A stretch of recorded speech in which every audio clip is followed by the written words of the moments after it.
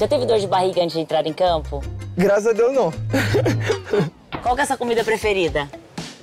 Arroz, feijão, batata frita, bife e farofa. Se tiver um ovo também, a gente coloca no meio do prato. Qual é a parte do seu corpo preferida? Meus olhos, famosa piscina na favela. Quem seria o ator do filme da sua vida? Will Smith. Nossa hora é agora! Apelido. Eu queria muito ter um apelido, mas eu não tive. E aí eu fiz meu pai me dar um apelido e não pegou, que era francesinha. Mania esquisita. Eu tenho um levantamento de sobrancelha involuntário. Um dia que não deveria ter saído de casa.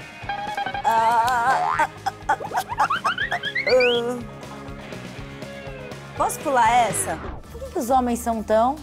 Que são tão práticos, tão simples? A gente não é, as coisas não são assim simples.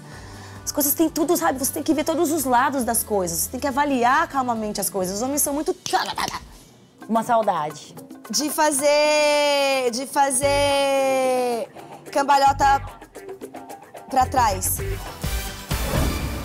Se eu fosse homem, seria. Seria o Justin Bieber. Minha próxima plástica será. Por enquanto, nenhuma. Tô sem nenhuma pra fazer. Eu descobri que estava famosa quando. Quando eu fui é, no mercado com a minha mãe, e aí eu tive que sair do mercado correndo, porque todo mundo começou a fazer maior alvoroço no mercado, e aí tinha gente pegando coisa do mercado, é, gente querendo um pedaço do meu cabelo, é, gente querendo a minha unha, e eu tava desesperada. Não aguento mais responder perguntas sobre. E aí, Ludmilla, é hoje? Hoje eu tenho uma proposta. Quero ir pra loja de bijuteria comprar umas argolas bem babadeiras, que nem essa aqui, ó. E baratinha, que aqui no Saara é tudo barato. Um show marcante. O primeiro, o primeiro show que eu fiz na minha vida foi marcante, porque foi tudo muito incrível pra mim, muito novo. Foi em 2007, na cidade de Bela Vista, no Mato Grosso do Sul. Mania esquisita. Ah, eu tenho mania de passar a mão no cabelo, é esquisito? Matéria preferida na escola. Biologia. Quem que fez essa pergunta de nerd, cara? Um segredo. Sou viciado em perfume. Isso eu acho que eu nunca contei pra ninguém. Coleciono perfume. Todos. Tenho, acho que mais de 50 perfumes. Sou viciado. Sabe lamber o cotovelo? Deixa eu tentar agora. Agora você me pegou. Quase. Quase. Nem a pau, cara. Como é que você chegou? Ó, meu cotovelo tá precisando passar um troço, né? Branco. Você chegou perto, né? Essa língua Eu comprida. Sabrina. Descobri que estava famosa quando.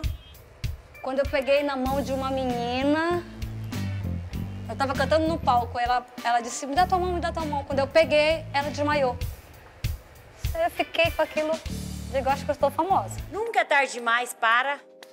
Recomeçar. Galera que tá parada, que tá no buraco, que tá triste, levanta a cabeça, vamos recomeçar. Uma música que gostaria de ter criado. Ah, essa é boa. É uma música linda, ela é muito difícil. É do Pixinguinha, ela é bem antiga, que se chama Rosa. Do amor por Deus esculturada e formada com ardor, da alma da mais linda flor de mais ativo flor. Um cheiro. Tem um cheiro de infância que eu gosto muito de cozinhar. Aí toda vez que eu passava perto de uma, de uma vizinha, na outra esquina, o feijão dela tava cheirando. Cara, eu ficava louca. Aí eu fui na casa dela antes do almoço, que era pra ver o que, que ela colocava no feijão. E eu descobri. E até hoje eu faço meu feijão assim. Feijão com chicória.